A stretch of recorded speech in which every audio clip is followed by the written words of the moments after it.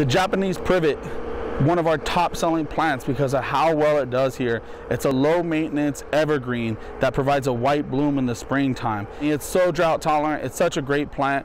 The, the plant gets medium to larger size. It's great for hedges at, in regards to providing privacy or if you have a six to seven foot block wall that you just don't want to look at. This is one of the prettiest plants you could have. It's got a very shiny, bigger green leaf on it, which isn't crazy common to find out here in Arizona with how hot we are. So this is going to be a really pretty tree for anyone looking to provide some privacy with a bigger green leaf. Absolutely gorgeous.